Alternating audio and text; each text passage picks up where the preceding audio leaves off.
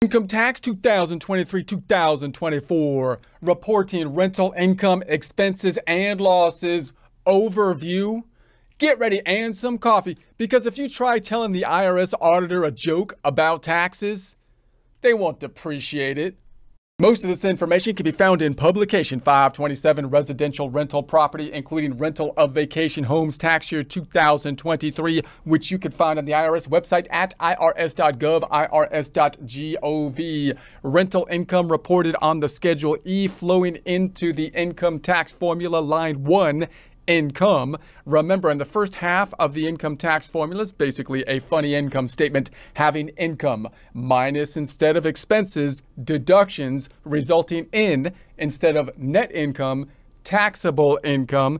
The rental income reported on the Schedule E, similar to business income reported on a Schedule C, basically has an income statement format in and of itself, in essence, reporting rental income minus rental expenses, which you can think of as rental deductions, resulting in, in essence, net rental income, which is what flows in from the Schedule E to line one income of the formula. This formula outlining the calculation on the Form 1040, of which we see the first page, the income section here, Schedule E, ultimately rolling into line 8, additional income from Schedule 1.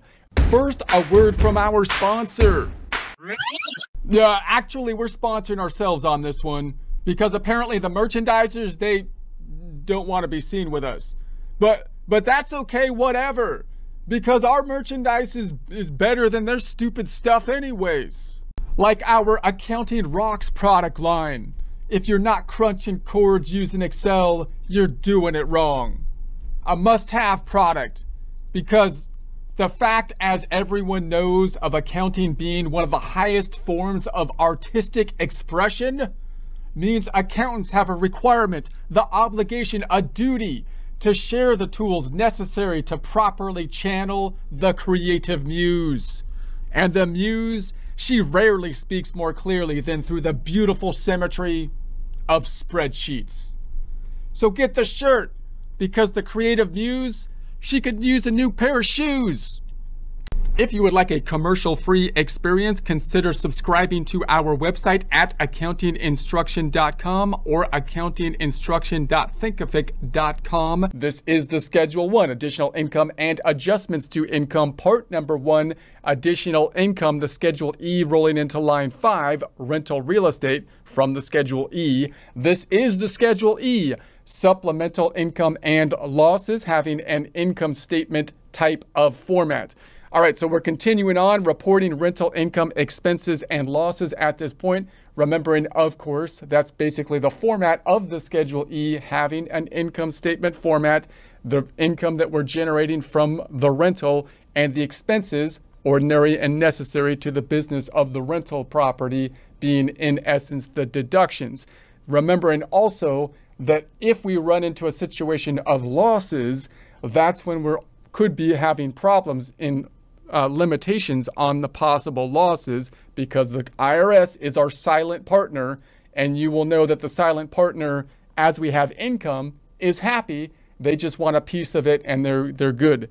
But if we have a loss, then the silent partner does not want to pay us for the losses. So they're going to possibly put restrictions on our ability to get benefits from the losses, such as being able to take those losses against other income like W-2 income. So that's one of the things to be careful of. That's one of the things that possibly could differentiate a Schedule E reporting than an, another type of business that might be reported, say, on a Schedule C, which might have different kind of restrictions in the case of losses. Also noting rental income often likely to have a loss because people that have a second home might be holding on to that second home for multiple different reasons other than simply the rental income such as they want to have a hedge that's going to going to play against uh, if there's some problem with inflation or something like that.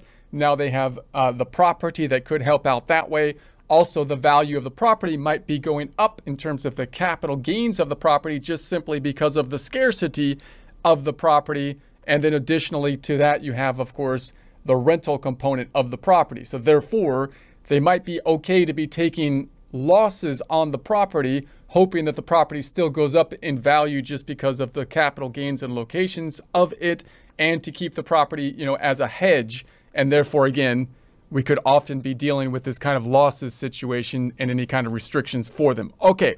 Figuring the net income or loss for a residential rental activity may involve more than just listing the income and deductions on the Schedule E Form 1040. There are activities that don't qualify to use the Schedule E, such as when the activity isn't engaged in to make a profit or when you provide substantial services uh, in conjunction with the property. Now, there's been kind of a tug of war with the Schedule E. Now, remember the differences on the Schedule E and the Schedule C. When we talked about a Schedule C, a business, we had questions about whether it is a legitimate business or a hobby. Uh, and that's going to be an important question because, again, a hobby is likely to have losses, and the IRS is going to say, hey, no, that's a hobby. It's not a business. You have losses. We don't want to basically allow the losses. So that's one thing that we need to keep in mind. There's also been a tug of war with regards to passive income versus active income, noting that in a Schedule C business, when we have a service business, we actually have to do work to generate the revenue. We're not just holding on to property and generating the uh, passive income. So the IRS is typically going to be more skeptical or harsh on like passive income and allowing passive like losses. So they, they try to categorize all rental income as, in essence, passive income. But obviously, some rental activity, that's their business. Their business, they're actively involved in rental business, doing work in a similar way as if they were in another business reported on the Schedule C. So then they're claiming, hey, look, I should be able to take losses similar to what a Schedule C can do because I'm putting in labor and so on, similar to the Schedule C. So you have this back and forth that kind of worked out into this compromise where we have these terms such as is it passive income? Do you actively participate? Are you a real estate professional, which will have implications on what you can do with losses, how much of the losses you might be able to take, and possibly even whether or not to report on a Schedule E versus a Schedule C. And if it doesn't qualify for rental activity, then you might still get a benefit from the real estate itself as, say, a second home, possibly being able to deduct the mortgage interest and real estate taxes still on an itemized deduction schedule A, but possibly not being able to deduct, you know, all the other stuff, depreciation being a big one on the schedule E. So these are some of the things we're getting into. So there are also the limitations that may need to be applied if you have a net loss on the schedule E. There are two. Number one, the limitation based on the amount of investment you have at risk in your rental activity. Now, that one usually isn't as big an, an, an issue for most people that have rental property because they're usually at risk, meaning uh, they're at risk for like if they took out a loan, then then the property is usually going to be collateral on the loan, for ex- for example. But you can imagine situations where they don't have an at-risk uh, scenario and and uh, the IRS is going to limit the losses because you're not basically taking on risk in that case. Uh, so, but the other one, too, the special limits imposed on passive activities is something that many rental properties are going to have to deal with, and that's when it gets into this: is it passive or is it active? Are you a real estate professional? Are you not a real estate professional, but it's not completely passive because you're actively participating, therefore possibly being able to take some of the losses, even though we're kind of classifying it as passive, in which case you usually don't get to take the losses unless you take them against other passive income. Okay. So you may also have a gain or loss related to your rental property from a casualty or theft. This is considered separately from the income and expense information you report on the Schedule E. So if you had a casualty or theft situation, then that, of course, hopefully is an unusual type of situation you'd have to think about possibly in isolation, right? So which forms to use? So the basic form for reporting residential rental income and expenses is the good old Schedule E Form 1040. So rather than the Schedule C, we're going to the Schedule E. What are the major differences between a business on the Schedule C and something reported on the Schedule E? One, you typically don't have the, the self-employment taxes on a Schedule E, which you do have on a Schedule C, in part you can think of most likely because it's not completely an active activity. There is that passive component to it. So that is huge. And you don't have some of that, the qualified business expense deduction that you would have on a Schedule C versus the Schedule E. And uh, the Schedule E, however, could be subject to some of those loss limitations, which the Schedule C might not be as subject to, such as, for example, the passive activity rules.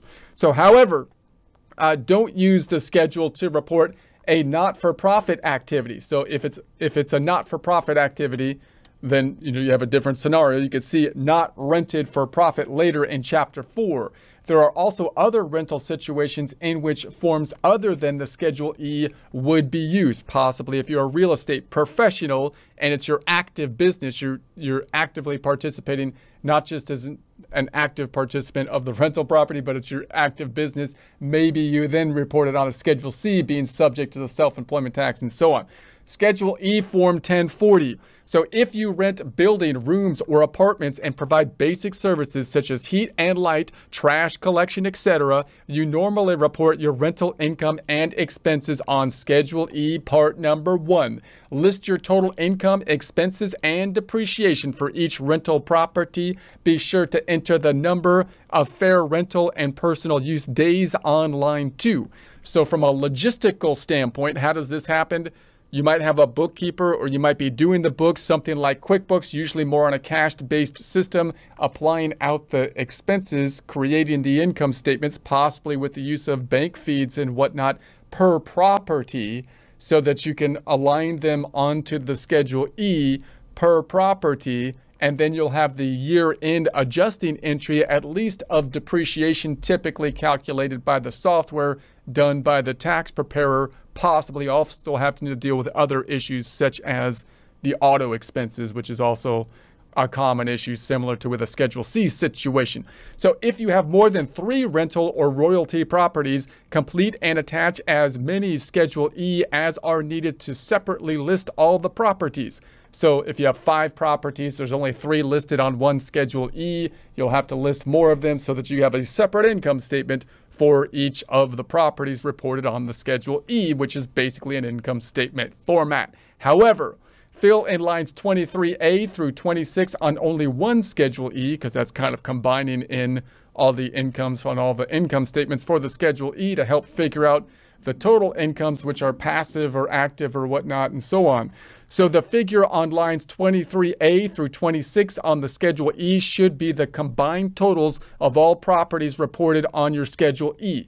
So in other words, if you had like five properties, you have a separate kind of income statement on all the Schedule E's, which are in essence going to be summed together at the bottom of the Schedule E, because if they're all considered to be similar in nature in terms of you actively participating, you have the same kind of passive rules, hopefully, applied to all of them when we start to get into these loss limitations and so on and so forth.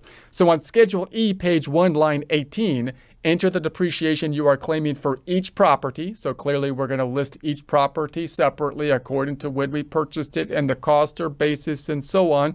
You may also need to attach Form 4562 to claim the same sum or all of your depreciation. Form uh, for, you can see that form and instructions if you want to look at that in more detail. If you have a loss from your rental real estate activities, you may also need to complete one or both of the following forms. You've got the Form 6198 at risk limitations. That's usually in a situation where you're you're not you're you're not at risk because of a weird kind of situation on the loan or something like that. So where, where you're not like at risk of the loss so much. And so then so that's going to limit your losses. But then the other one that's possibly more common to basically a lot of rental activities is the form 8582 passive activity loss limitations and you can see passive activity limits later. All right, the, the basic idea, by the way, with passive activities is they're going to say, hey, look, we're going we're, we're going to try to limit you to take the losses on passive activities against other income. But if you're limited to the losses, maybe you can roll it forward and take it in the future year if there's passive income to match it up against. So the general idea is we're going to keep passive income and losses in its own lane, only allowing the losses to be matched out against passive income rather than netting those losses against other income such as W 2 or Schedule C type of income, active income. So Page 2 of the Schedule E is used to report income or loss from the partnership, S corporation, estates, trust, and real estate mortgage investment co conduits. We're basically focused on the real estate here. If you need to use page 2 of Schedule E and you have more than three rental or royalty properties, be sure to use page 2 of the same Schedule E uh, uh, you used uh, to enter the combined totals for your rental activity on page 1. Also, include the amount from line 26, part 1, in the total income or loss on line 41, part 5, form 4562. You must complete uh, and attach form 4562 if you are claiming the following depreciation in your rental activity. So, rental activity, by its nature, typically means we own the property, and the depreciation of the property itself is typically going to be a big component uh, part of our rental expenses. So we're going to have to generally file possibly the form 4562 related to the depreciation at least of the property, if not also in relation to other things that we're buying, such as equipment, furniture, and so on. Depreciation, including the special depreciation allowance on property placed in service during 2023. So you'll recall that 179 depreciation and special depreciation are going to be things often not applied to the property itself, the real property, but to other things that need to be depreciated, like possibly furniture and equipment and uh, that kind of thing and then you're going to need this form 4562. Depreciation on listed properties such as a car, regardless of when it was placed in service. So obviously tax software can help us to determine if we need those forms for depreciation and help us with the calculations.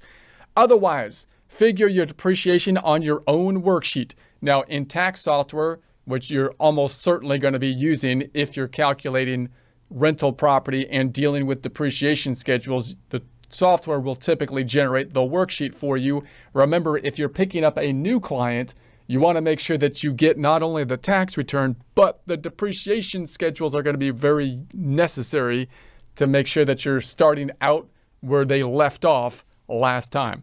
So you don't have to attach these computations to your return. So that's kind of nice, I guess, but it's like, it, that could lead you then to not be able to get those depreciation schedules uh, when you pick up a new client or something. So hopefully uh, you have communication with the prior tax preparer and you can get a complete copy of the return, including the schedules, because those are important.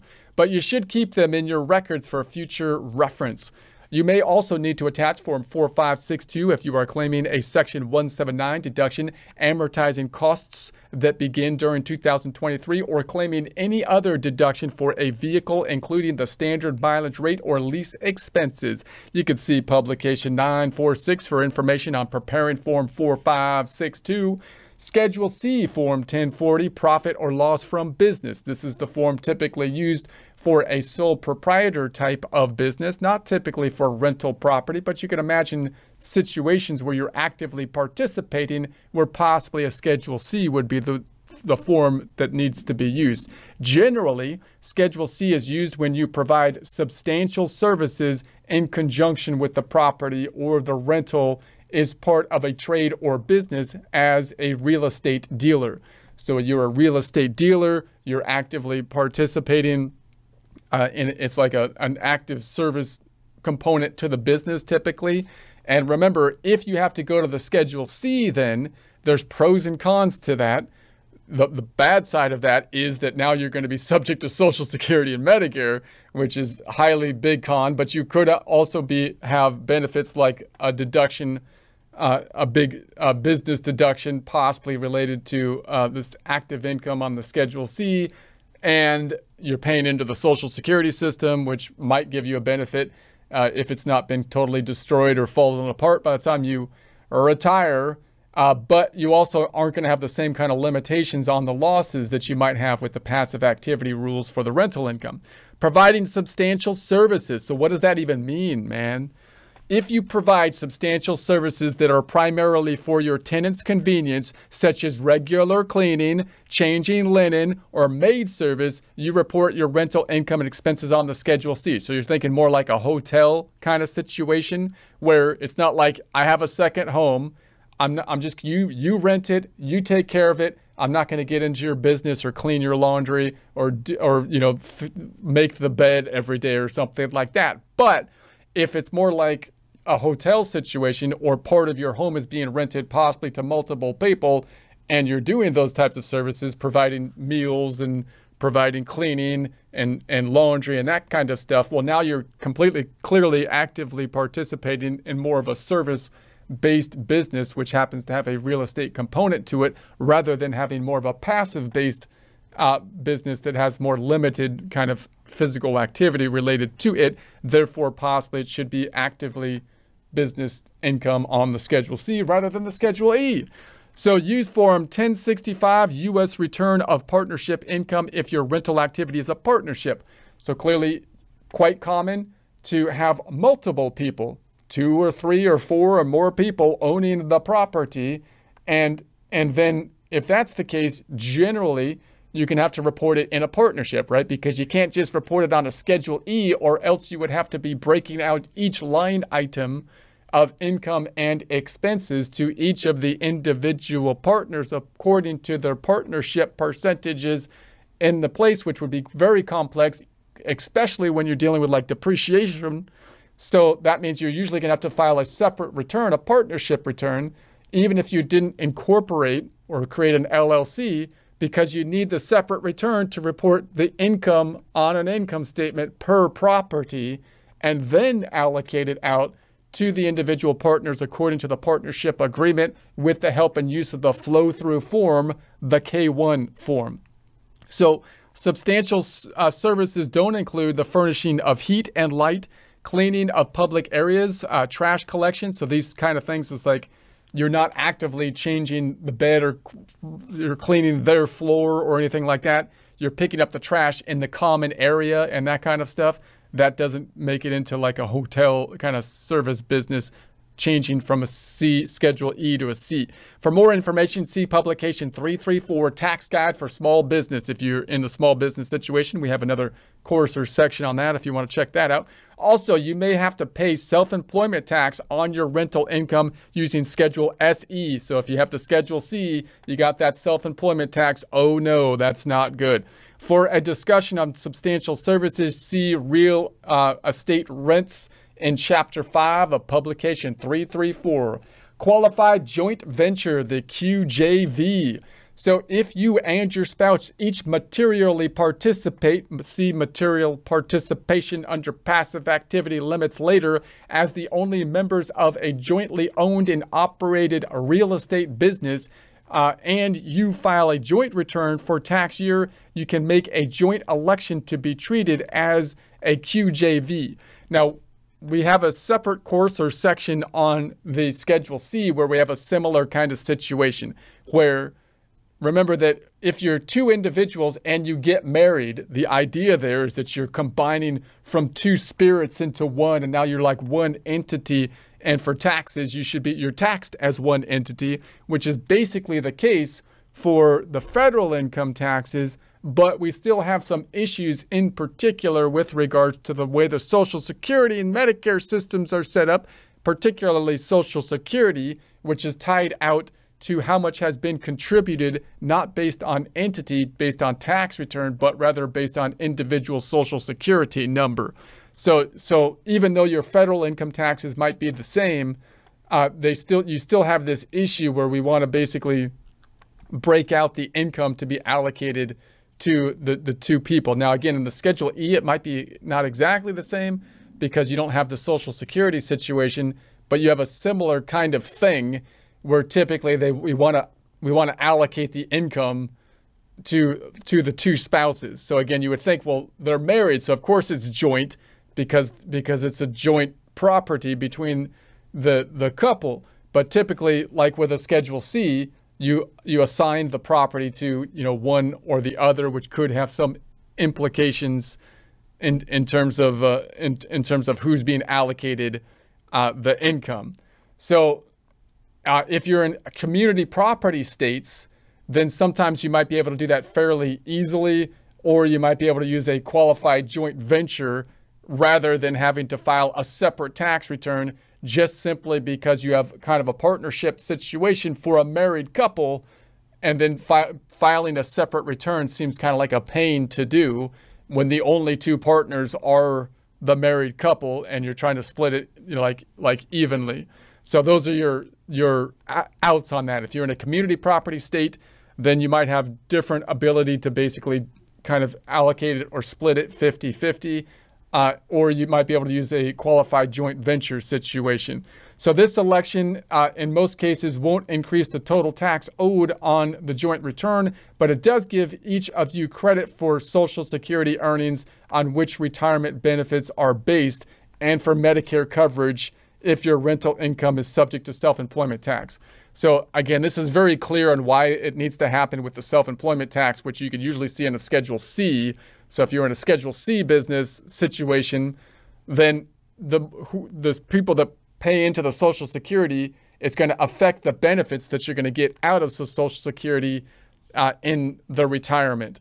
So so that's going to be the idea. So if you're in community property, maybe you can split it. If you're not, then maybe you have two Schedule Cs and you and you have this joint venture situation where you break out each of the line items between the two individuals, possibly on a 50-50 or whatever. You might have more more ability to change the percentages in that cases.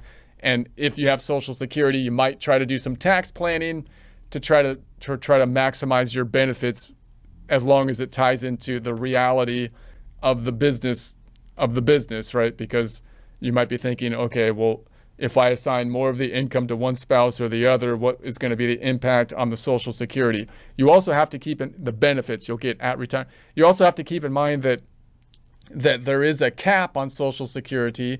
So if your income goes over the cap, and then you split the Social Security the, the income between two people, you're going to end up paying more Social Security tax than if all the income was allocated to one individual who would then hit the cap.